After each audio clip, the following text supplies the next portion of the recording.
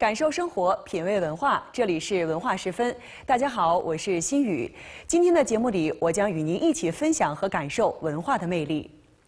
胸怀千秋伟业，恰是百年风华。正在我台综合频道播出的百集特别节目《美术经典中的党史》，以画为体，以史为魂，通过一百件最具代表性的美术经典作品，生动再现了中国共产党从红船起航到奋进新时代的伟大征程，讲述了中华民族伟大复兴之路上的动人故事。播出之后反响热烈。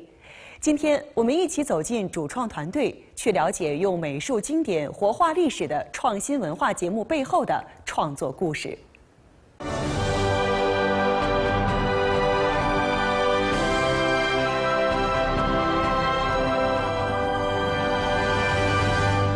观众朋友，大家好，欢迎您收看《美术经典中的党史》。今天我们为您介绍的这幅美术经典作品，是一九五九年詹建俊先生创作的油画《狼牙山五壮士》。画作描绘的是抗日战争时期五位八路军战士在寡不敌众的情况下顽强战斗，直到打光最后一颗子弹，毅然砸枪跳崖的英勇场面。《狼牙山五壮士》是为庆祝中华人民共和国成立十周年而拟定的重大革命历史题材画作。画家詹建俊在作品创作中以西方油画的材料来表达中国精神，其刀凿斧劈的笔法借用了中国山水画的大斧劈皴，体现了一种力度美。周鑫，油画《狼牙山五壮士》这期节目的导演。接到选题后，面对一个家喻户晓的事迹，如何挖掘出背后的故事，成为他创作的关键。洞室做小一点，然后呢，这两个人物做成分层，往前慢慢的往前推。我最终讲通过这个故事，是为了讲一个，呃，掩护军民、牺牲自我、大无畏的精神。那么这个精神如何去体现？除了这个蓝岩上五壮士，那我当然就考虑去找类似的同时间段的，是否？有类似的故事来体现这个精神。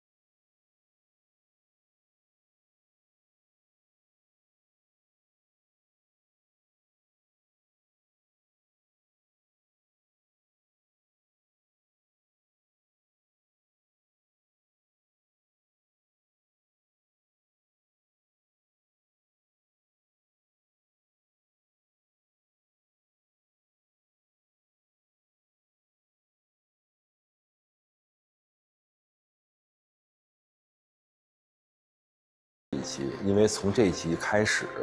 我们呢把画面中就是元素的这种动态效果，我们提升到一个非常重要的一个位置。像里面一些这个焚烧荒草的这个烟气，啊，我们给它做了一个动态的一个袅袅上升的这样的一个效果。他们手持的这个军旗，红旗风中这个猎猎飘舞，这个呢我们也做了一些动态的效果。所以呢，我觉得。这是现代电视这个科技和这个传统的这个油画艺术的这样的一个结合。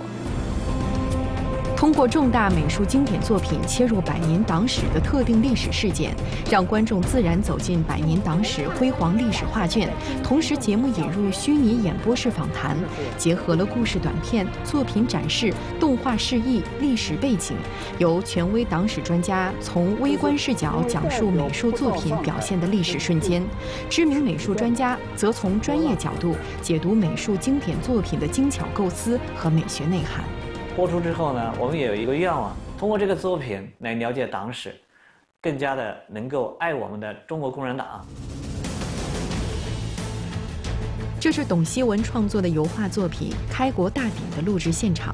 节目主创正在与嘉宾沟通录制内容。《开国大典》作为新中国的历史画，创造了多人物情节性绘画的高峰，在中国油画发展史乃至党史上都具有重要影响力。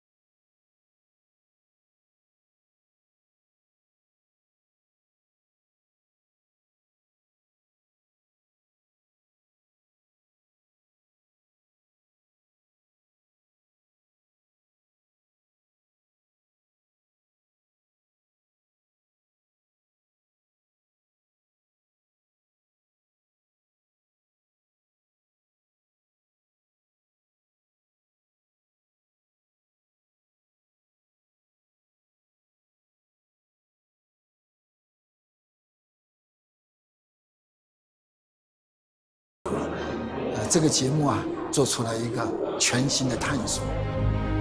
笔墨当随时代，由诗文风气所转。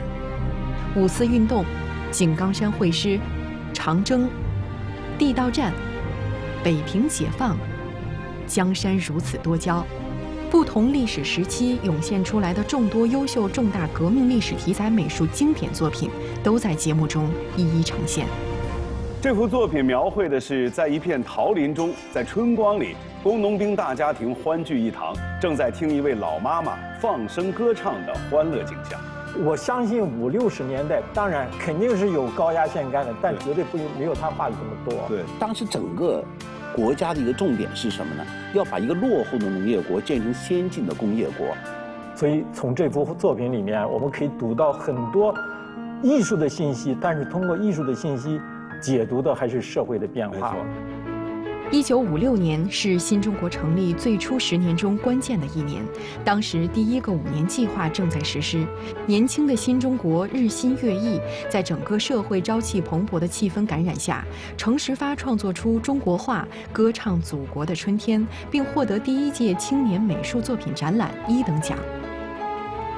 当时是想说这个祖国的春天，说这个春天体现在什么地方呢？然后可能还是因为新中国成立以后，它的各方面的成就吧。然后所以就是从从这个角度去说的，主要是从这个画的创作年代上边去去开始展开它这个当时故事的挖掘。突然就觉得这五六年确实是一个很朝气蓬勃、欣欣向荣的这么一个年代。美术经典中的党史，以多元视角揭开每一部美术经典作品中蕴含着的动人历史故事，全景式的呈现了走过百年历史的中国共产党人的时代精神图谱。其中展现在决战脱贫攻坚道路上各民族儿女奋斗足迹的作品《老战》。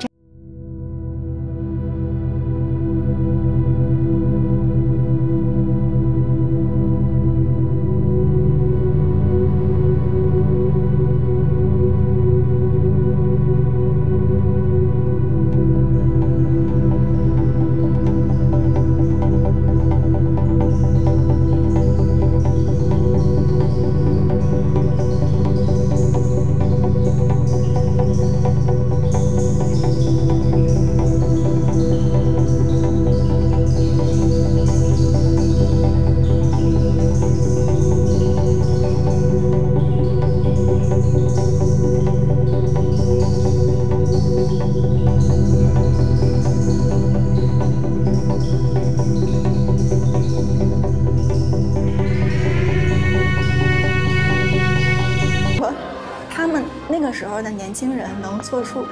这么了不起的事儿，他们那种信仰肯定就不是考虑的一个小我，他肯定是考虑的就是一个整个中华民族。重温一部部经典美术作品，我们触摸到有温度、有情感的党史，感受艺术家们的情怀与担当。再读百年波澜壮阔的光辉历程，我们领略信仰之美，铭记中国共产党带领人民筚路蓝缕、艰苦奋斗的激情岁月，也从作品中汲取中国共产党人不懈奋斗的精神力量。今天的节目就是这样，感谢您的收看，明天我们继续相约文化时分。